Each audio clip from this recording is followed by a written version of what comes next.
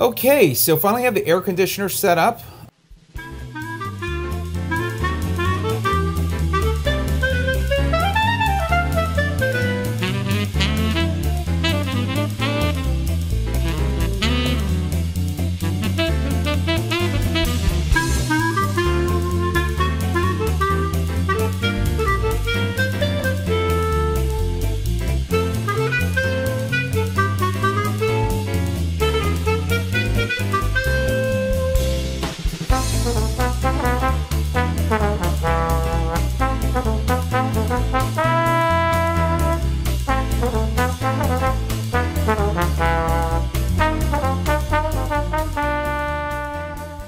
Uh, the room in here is a 9 by 11. And let me go ahead and share with you a few things. So, first of all, when you take it out of the box, you'll see the window plate here.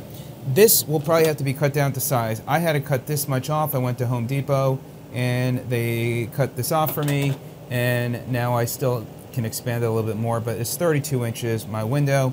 And then this is set up, as you can see on the back and we'll talk more about the back in a minute. But uh, as far as the front, you can close the front from the air if you wanted to adjust that. You can actually lift that up. That's as high as it goes. And then you can again close it. So there you go. Now you've got the instruction user manual in here. There's uh, good information uh, for all about the unit. And of course, you can always reach out to support and have questions answered. Uh, there is the plug outlet. Uh, it does come with the tube for the drainage. You have your remote control, which you can control everything with the unit. And I believe this is for the window plate that you would use uh, this for. Uh, so you've got your timer here. You've got your high and low. So this is low, and this is high. And then you've got your temperature adjustment. And this goes as low as 61 degrees, as high as about 88. You've got sleep, where you can put it into sleep mode. And then you have cool, humidifier, and fan. And then power, and it will give you a notification for waterfall. So the unit is now off. You can hear it's very quiet. Turn it back on and this will give you an idea. It almost feels like it, it's shaky when it first comes on. I really like the look of the unit, and it's very nice. Uh, this was sent to me, by the way, to review, and so wanted to at least get to experience it here just a little bit to share with you. We'll see how it is long term.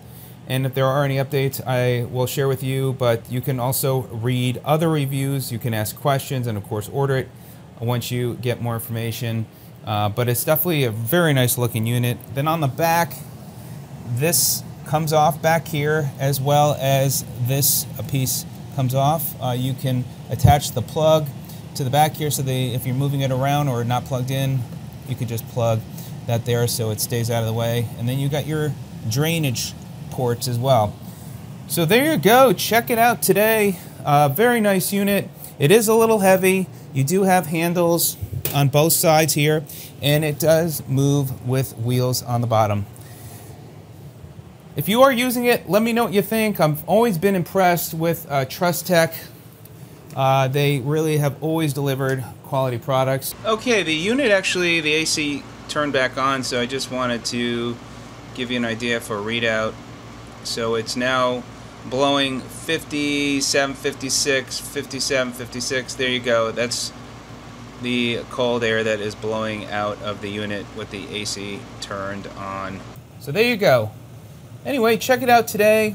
Appreciate the company sending this to me. Definitely will take advantage of using this both as an air conditioner unit and a dehumidifier. All right, everybody, have a great day. Stay cool. We'll see you on the next video. Take care.